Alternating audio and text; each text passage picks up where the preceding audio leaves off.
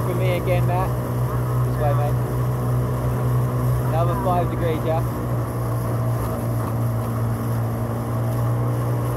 That's it.